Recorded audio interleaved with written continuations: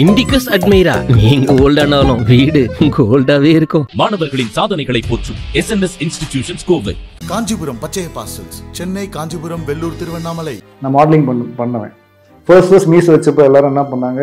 ஒரு மாதிரி இருக்கான் ஒரு என் கண்ணு முன்னாடி ஒரு ஆள் வந்துட்டு இவன் இவன்லாம் ஹீரோவா அப்படின்ட்டு போனான். என் கண்ணு முன்னாடி சொல்லிட்டு போனான். தப்பான டிசிஷன் எடுத்துட்டோமோ அப்படின்ற மாதிரி தோணி தோணியிருக்கா? பிறக்கும் போது எங்கள் வீட்டு எங்கள் வீட்டில் இருந்தது எம்ஜிஆர் கட்டி கொடுத்த ஒரு ஒரு ஓட்டு வீடும் எங்கள் தாத்தா பாட்டி கட்டின ஒரு குடிசை வீடும் தான் நான் பார்த்தது. ஸோ அந்த இடத்துல இருந்து வந்ததுனால எனக்கு அந்த சேஞ்ச் ஒரு ஈஸியாக அக்செப்ட் பண்ண முடிஞ்சது.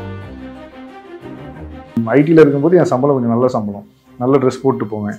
ஆனால் அட்மாஸ்பியராக போகும்போது உங்களுக்கு தெரியும் எப்படி ட்ரீட் பண்ணுவாங்க ஒரு சாப்பாடுக்கு நம்ம போனால் கூட வந்து உடனே கிடைக்காது நம்மளுக்கு. எனக்கு- ஒரு சாப்பாடுக்கு போய் என்ன என்னாச்சுன்னா இந்த ரொமான்டிக் சீன்ஸ்க்குலாம் வரும்போது அம்மா லைட்டா ஏதாவது கேட்கறது என்ன பண்ணுறேன் எங்கள் அப்பா தான் பார்த்தேன். இப்போ இந்த பொண்ணு மேலே கை போட்ட கை பட்டும் படாமல் இருக்கணும். பட்டும் படாமல் தொட்டும் தொடாமல் இருந்தால் நடிக்கவே கூடாது. அப்படின்னு. பட் எங்கள் அப்பா கிட்ட சொல்லுவேன் சின்ன வயசுல எப்படி கொடுமைப்படுத்திருக்கப்பா என்ன நீ? நாலு மாதம் ஒரு வாட்டி பார்பர் ஷாப் போவோம். மொட்டை அடிச்சு ஒரு ரெண்டு வாரம் முடி வந்து எவ்வளோ இவ்வளோ தானே இருக்கும். மோஸ்ட் ஸ்கூல் ஃபோட்டோவில் எங்கள் மண்டை இப்படி தான் இருக்கும். அதான் எவ்வளோ கொடுமை பண்ணியிருக்கீங்களே? இப்போ இன்னைக்கு வந்து ஒரு ஹீரோ அப்படி அப்படி நம்ம வந்து இருக்கோம். பட் இதுக்கு பின்னாடி ஒரு டிராவல் ஒரு ஜேர்னி ஒரு ப்ராசஸ் ஒன்று இருந்திருக்கும்ல. அதுல சந்திச்ச ரிஜெக்ஷன்ஸ் அப்படின்னா நீங்க என்ன சொல்லுவீங்க? இல்லை இப்போ எந்த ஃபீல்டு எடுத்தாலுமே நம்மளுக்கு ஒரு ஸ்டார்டிங்ல இருந்து மேலே வர்றது கொஞ்சம் கஷ்டம் தான் நான் ஐடியில் இருந்தப்போ கொஞ்சம் கொஞ்சமாக தான் மேலே வந்தேன். ஸோ அதே மாதிரி ஐடியில் ஒர்க் பண்ணிட்டு இருந்தீங்களா? ஆமாம் இன்ஜினியரிங் முடிச்சுட்டு ஒரு சாஃப்ட்வேர் இன்ஜினியராக இருந்தேன். ஸோ அது ஒரு டீம் லீட் மாதிரி எனக்குன்னு ஒரு ஒரு எட்டு பேர் கொடுத்துருந்தாங்க. நான் வந்து ஆர்கனைஸ் பண்ணுற மாதிரி. ஸோ அந்த ஸ்டேஜில் தான் வந்து அதை விட்டுட்டு then I came to this job ஏன்னா எங்கள் அப்பா கொஞ்சம் ஸ்ட்ரிக்டான ஆஃபீஸர் அவர். ஸோ அதனால் படித்து முடிச்சுட்டு வேலைக்கு போகிற வரைக்கும் I was into that but சைடில் ட்ரை பண்ணிக்கிட்டே இருந்தேன். ஸோ ஒரு பாயிண்ட்ல I quit it then I came to acting try பண்ணும்போது எடுத்த உடனே நான் ஆரம்பிச்சது வந்து அட்மாஸ்பியர் ஆர்டிஸ்ட்டாக தான் பண்ணேன். ஸோ அட்மாஸ்பியர் ஆர்டிஸ்ட்னா உங்களுக்கு தெரியும். இப்ப நம்ம க்ரௌடில் வந்து ஹீரோ இருப்பார். கும்பலில் பின்னாடி நிற்க வச்சிருவாங்க. அது நம்மளுக்கு வந்து அடிக்கிற வெயிலாக இருந்தாலும் சரி எதுவும் எதுவாக இருந்தாலும் சரி சாப்பாடு கூட நம்ம அங்கே போய் சுற்றிட்டு தான் போகணும். அவங்க சாப்பாடு வந்து எல்லாம் உட்காந்துருவாங்க நம்ம அடுத்த பந்திக்கு போகிற மாதிரி தான் இருக்கும். திடீர்னு ஷாட்டுக்கும் கூப்பிடுவாங்க. ஸோ அந்த மாதிரி கொஞ்சம் கஷ்டம்லாம் இருந்தது அதில்.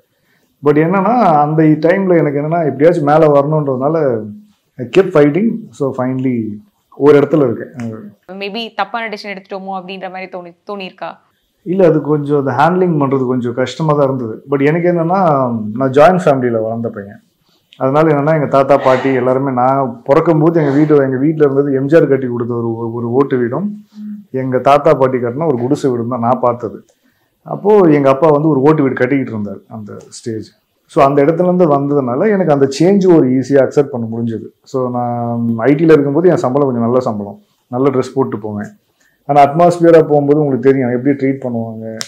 ஒரு சாப்பாடுக்கு நம்ம போனால் கூட வந்து உடனே கிடைக்காது நம்மளுக்கு. எனக்கு ஒரு சாப்பாடுக்கு போய் என்ன என்னாச்சுன்னா இங்கேருந்து அங்கே போங்க அப்படின்னாங்க. அங்கே போனால் அங்கேருந்து இங்கே போங்கன்னாங்க. அன்றைக்கி நான் சாப்பிடுவேன் ஆக்சுவலி ஸோ அந்த மாதிரி ஆயிருக்கு. பட் என்னன்னா என்கிட்ட காசு இருக்குது வேலையும் இருக்குது பட் இந்த கம்ஃபர்ட் ஜோன்லேருந்து நான் வெளியே வரணும்.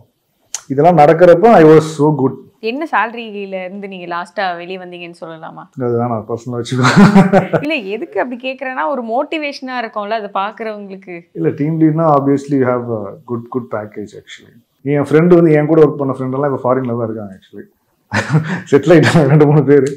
ஸோ அந்த மாதிரி நானும் செட்டில் ஆயிருப்பேன். பட் எனக்கு என்னென்னா நடிக்கணுன்ற ஒரு ஒரு ஆசை ஸோ அதான் ஒரு ஸ்டேஜ் வந்ததுங்க. இதுவா அதுவான்னு சொல்லி ஒரு கொஷின் வந்தது. அது என்னன்னு தெரியல. கரெக்டாக டூ தௌசண்ட் எயிட்டீன் நினைக்கிறேன்.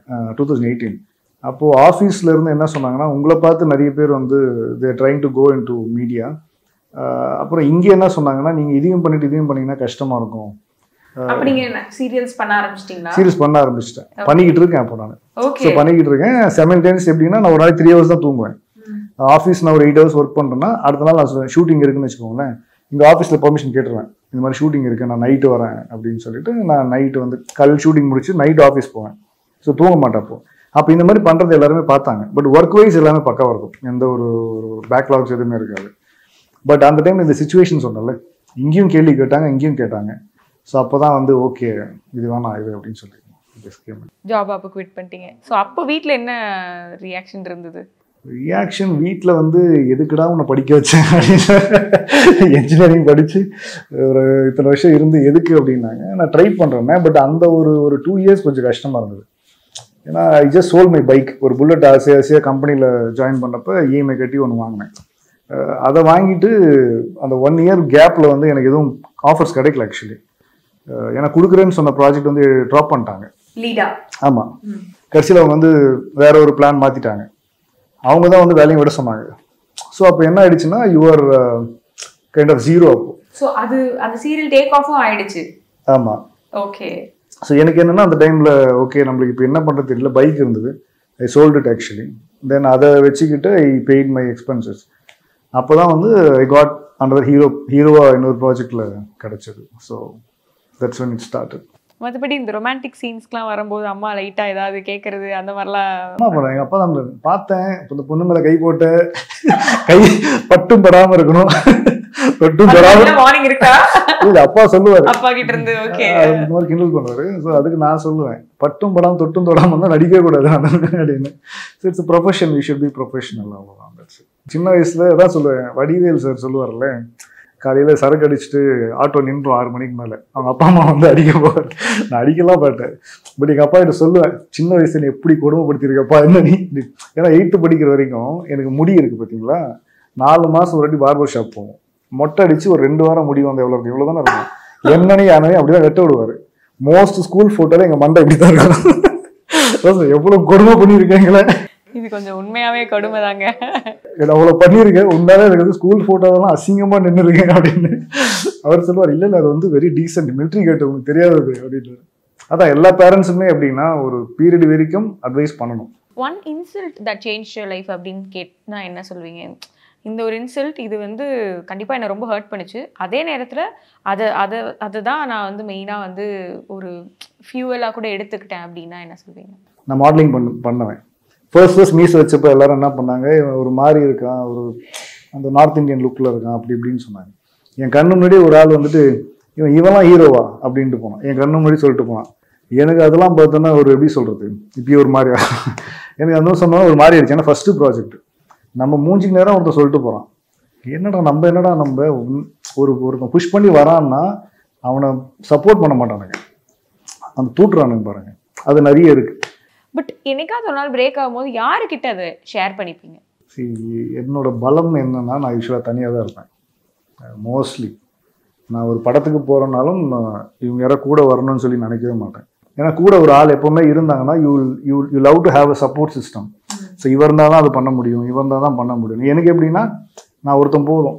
ஐ கேன் டூ இட் அப்படின்ற அந்த மைண்ட் செட்னால இட் வாஸ் ஈஸி மல்லி எவ்வளோ ஹாப்பியாக சாட்டிஸ்ஃபைங்காக இருக்கு உங்களுக்கு? ஏன்னா மொத்தம் நாலு ஹீரோயின் நாலு அஞ்சு ஆறுன்னு சொல்லிட்டே போகலாம் ஏன்னா பூர்ணிமா மேடம் இருக்காங்க. அப்புறம் அம்பிகா மேடம் அப்புறம் நளினி மேடம் இவங்கெல்லாம் வந்து எயிட்டிஸ் பீரியட்ஸில் எனக்கு தெரிஞ்சு எங்கள் அப்பாலாம் வந்து அஹ், இவங்க கூடலாம் வந்து இவங்க படத்தெல்லாம் பார்க்கணும்னு ஆசைப்பட்டிருப்பாரு. Uh, ஸோ இப்போ அவங்க பையன் வந்து இவங்களாம் நடிக்கும்போது கண்டிப்பாக ஹீல் பி வெரி ப்ரௌட்ல ஸோ எங்கள் அப்பாவுக்கு வந்து ஒரு சந்தோஷம் கொடுக்குறேன்ல. ஸோ அந்த ஒரு விஷயம். Uh, இப்போ எனக்கும் மல்லிக்கும் ஒரு ஒரு ஒரு ஒரு சீக்வன்ஸ் இருக்குன்னா அது ஒரு லவ் ஆக்சுவலி இப்போ எனக்கும் வெண்பாக்கும் இருக்குன்னா அது ஒரு லவ் இப்போ மல்லிக்கும் வெண்பாக்கும் ஒரு லவ் இப்போது இந்த மூணு பேர் சுற்றி மற்ற ஆளுங்களாக இருக்காங்க பார்த்தீங்களா அது வந்து எப்படி சொல்கிறதுன்னா இன்ட்ராக்ஷன்ஸ் ஜாஸ்தியாக இருக்கும். மற்ற சீரியலில் வந்து சும்மா சொல்லணும்னா நான் பண்ண சீரியலே சொல்கிறேன் யூஸ்வலாக பண்ணும்போது சண்டைகள் இருக்கும். அந்த ஹஸ்பண்ட் ஒய்ஃப்குள்ளே மட்டும்தான் இருக்கும். இங்கே வந்து மோர் தென் ட்ரையாங்கிள் அப்படின்னு சொல்லலாம். அஹ், எப்படி சொல்கிறது ஹீரோயின் வில்லி அப்படின்னு இல்லாமல் நிறைய பாசிட்டிவ் கேரக்டர்ஸ் நிறைய இருக்குது இதில் ஸோ ஒவ்வொருத்தருக்குமே பெர்ஃபார்ம் பண்ணுறதுக்கு நிறைய ஒரு சான்சஸ் இருக்குது ஸோ அந்த வகையில் ஐ திங்க் மல்லி வந்து ஆடியன்ஸை போர் அடிக்காது எங்கேயுமே ஃபேவரட் அப்படி ஒரு சீரியல் சொல்லணும்னா என்ன சீரியல் சொல்லுவீங்க? மல்லியை தவிர. மல்லிகை தவிர. நடுவில் ரெண்டு மூணு எபிசோட்ஸ் பார்த்தது வந்து எதிர்நீச்சல் பார்த்தேன் ஸோ ஒரு நம்ம சார் இறந்துட்டார்ல. ஸோ அவரோட சீக்வன்ஸ்லாம் எனக்கு ரொம்ப பிடிச்சது. ரொம்ப இன்ட்ரெஸ்டிங்காக சும்மா கேஷுவலான ஒரு ஸோ எதிர்நீச்சல் வந்து it was my favourite actually super so வந்து ஐ திங்க் வந்து மல்லி நாங்கள் வந்து பார்த்து கண்டிப்பாக என்ஜாய் பண்ண ஆரம்பிச்சிட்டாங்க. இன்னும் வந்து நீங்கள் எதிர்பார்த்த அளவு அது வந்து மக்களை போய் சேர்றதுக்கு எங்களுடைய மனமார்ந்த வாழ்த்துக்கள். ஐ திங்க் இதுக்கு மேலே வந்து உங்களோட சாப்பாடு டைமை நாங்கள் வந்து டிஸ்டர்ப் பண்ண விரும்பலை. ப்ளீஸ் நீங்கள் வந்து சாப்பிடுங்க. நாங்களும் அப்படியே சாப்பிட்டு நீங்கள் எப்படி நடிக்கிறீங்க அப்படிங்கிறதெல்லாம் இருந்து பார்த்துட்டு அப்புறமா போகிறோம் thank you so much best wishes thank you so much thank you so much Galatta viewers எல்லாருக்குமே ரொம்ப நன்றி. மல்லியை மறக்காமல் பாருங்கள் சப்போர்ட் பண்ணுங்கள் இண்டிகஸ் அட்மைரா நீங்க ஓல்டானாலும் வீடு கோல்டாவே இருக்கும். மாணவர்களின் சாதனைகளை போற்றும் S N S institutions Kovai. Kanchipuram Pachaiyappa silks Chennai Kanchipuram Vellore Tiruvannamalai.